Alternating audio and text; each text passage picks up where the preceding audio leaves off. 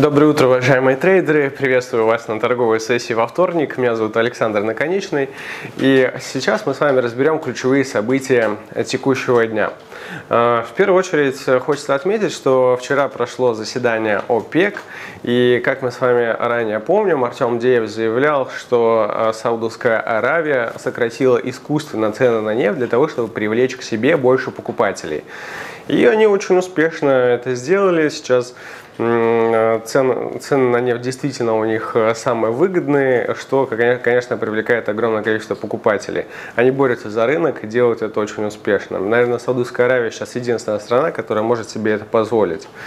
А, и на этом фоне, вот э, на вчерашнем заседании ОПЕК, Саудовская Аравия заявила, что э, цены мы повышать не собираемся, нас все устраивает.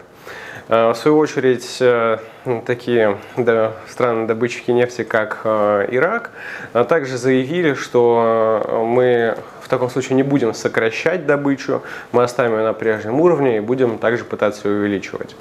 Как видите, по рынку нефти вот на текущий момент времени позитивных новостей нет. Поэтому ключевым уровнем по нефти марки Brent я продолжаю выделять 39, 30, 39, 35.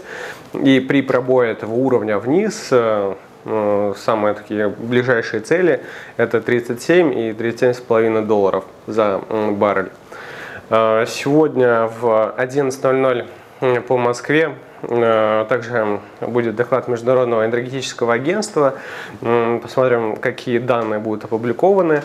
А, ну, на мой взгляд, никакого позитива нет. Вот э, единственное, что сейчас сдерживает нефть от резкого падения вниз, это э, ураган Сали в Мексиканском заливе, э, из-за чего сейчас как раз-таки добыча нефти в море сократилась на 21%. Э, здесь также добывают и газ, добыча газа сократилась на 25%, э, поэтому по газу сейчас также ждем дальнейшего роста. Ну, а по нефти, да, это сдерживающий фактор, но не настолько сдерживающий, чтобы прямо развернуть цену. Я все-таки сторонник того, что цена, цена на нефть сейчас будет падать. Э, сегодня в 12.00 по московскому времени также выйдет отчет экономического настроения от ЗЕВ. Считаю, что э, это действительно может повлиять на евро-доллар. Мы с вами уже вчера говорили о том, что цели на текущую неделю по евро-доллару это 1 19.50, такая оптимистичная цель, очень достижимая. И 1.20, ну такая уже менее достижимая цель, но также она реально на текущей неделе.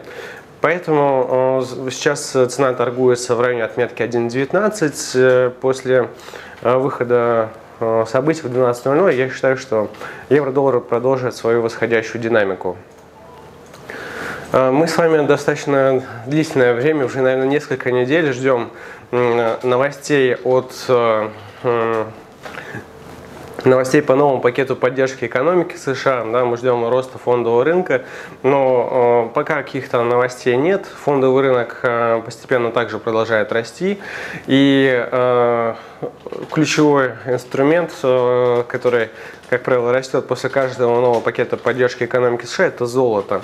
Э, золото э, несколько дней находилось в консолидации, и текущая отметка 1968. Вчера золото оттолкнулась от своего уровня поддержки, начала рост. я считаю, что сейчас э, золото будет входить по-прежнему в восходящее ралли до э, цели 1970-1980 и до 2000 в перспективе. Ну, на текущую неделю я поставил цель 1980 и рассматривал бы только покупки. По золоту сейчас никаких продаж, на мой взгляд, быть просто не может. И э, в завершение также хотел отметить э, британский фунт. Э, фунт-доллар сейчас находится по-прежнему э, в нисходящем канале. Если открыть график H4, то это очень хорошо видно. И э, Опять-таки здесь ситуация с Brexit, э, которая, э, мы все помним дату 15 октября. Если никаких договоренностей не будет, то Британия будет выходить э, по жесткому сценарию. Конечно, это очень негативная новость для британского фунта. И с точки зрения, опять-таки, технического анализа, вот на графике H4 сейчас я вижу хорошую точку для входа на продажи. Напомню, что ключевым уровнем будет 1.2770. Именно от этого уровня э, цена может э, отбиться. И если она его пробивает, то там открываются новые цели до 1.26, 1.25. Желаю вам успешной торговли и всего наилучшего.